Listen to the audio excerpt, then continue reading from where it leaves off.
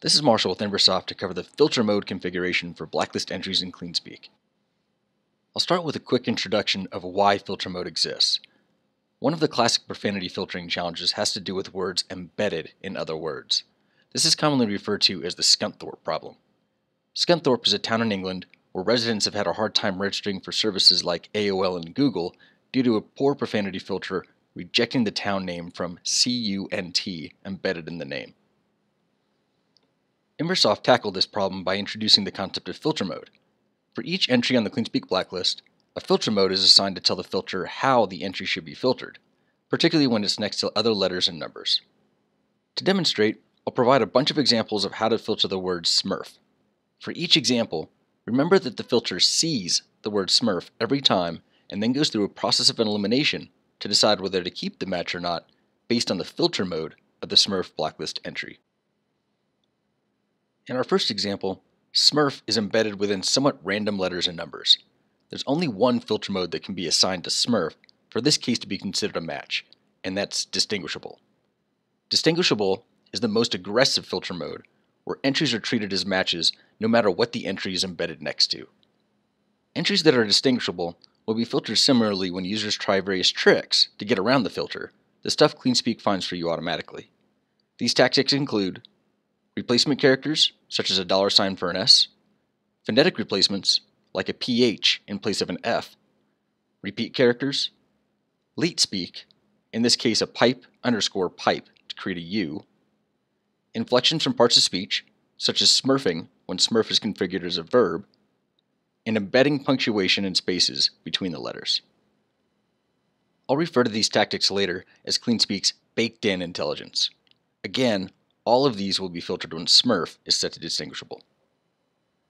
Set entries to be distinguishable when they are phrases, when the entry is unique, or when you simply want to filter it more aggressively and remove some of the false positive checks that CleanSpeak provides.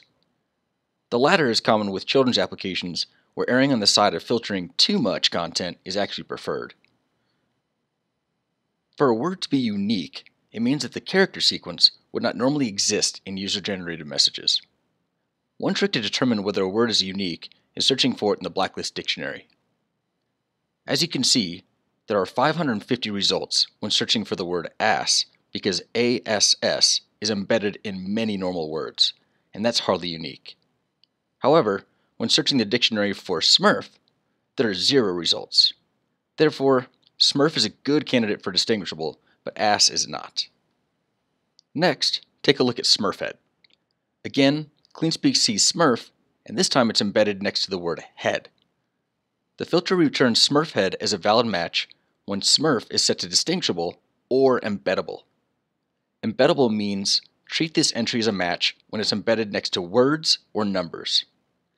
Head is a word because it's on the dictionary, so Smurf head is a valid match. Embeddable entries will also be found from the baked in filter intelligence as seen here.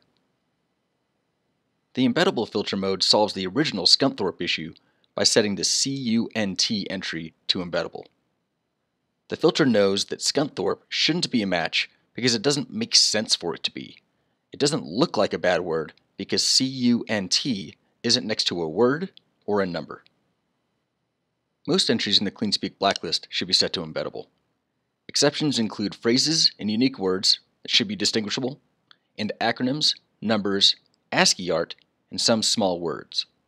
For those cases, the safety checks for the embeddable filter mode can still be too aggressive. That's where non embeddable and exact match come in.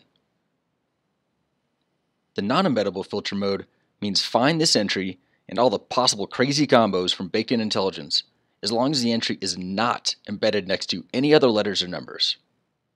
All of these will be filtered if Smurf is set to non embeddable. But the moment a letter or number is next to it, the match is rejected. An example of an entry that could be non-embeddable is the word gin. By itself, it's clear that gin, or even gin with repeat characters, is an alcoholic beverage. It's unlikely that a user would try to get the word gin past a filter by embedding numbers or letters next to it.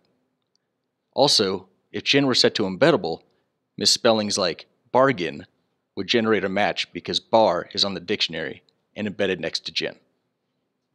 Set an entry to non-embeddable when it's a short word that is problematic to set to embeddable because embeddable creates too many matches.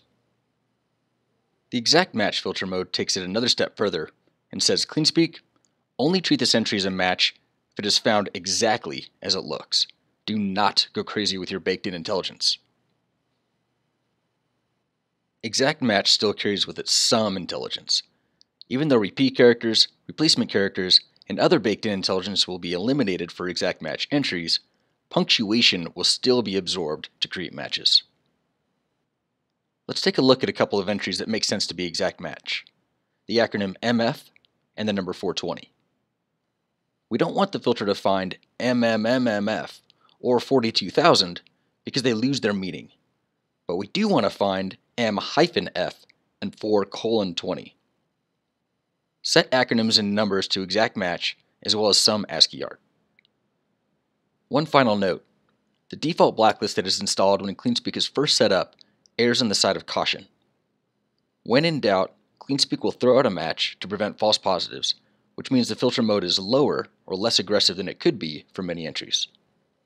To step up the aggressiveness, such as filtering in-game chat in a virtual world for children, you may want to use distinguishable more often. I hope this tutorial was helpful. Please feel free to provide feedback or request videos on other CleanSpeak topics by commenting here or contacting us directly. Thanks for watching.